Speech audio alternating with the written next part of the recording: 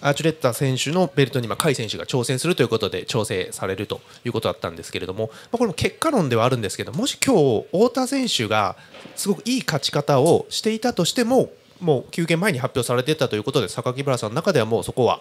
変わらなかった。そうですね、あの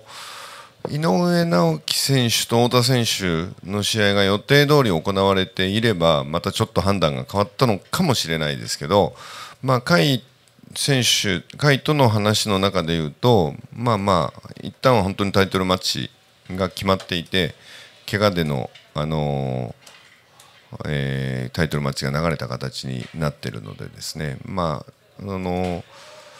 しかるべきタイミングでタイトルマッチに挑戦する権利は甲斐には十分あると思うんですね。だからまあ、あのー、それが大晦日でということではあったんですけど、その前に、ちょっと待ったというふうに声をかけられるとすると井上直樹選手、太田選手が予定通り行われて、まああの十分そこに割って入るような存在感と勝ち勝ちっぷりと、まあ、ファンからの支持を得るようなことがあれば、えー、下位から、チャレンジャーというか、まああの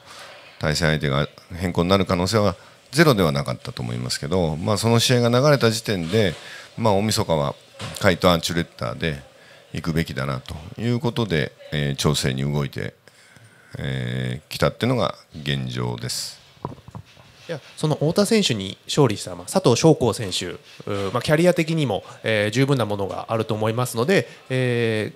ー、今日の勝利をもってかなりまた上位戦線ベルトには近い位置にいると、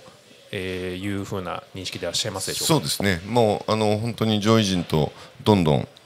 多分本人もあの終わった後も試合続けてもう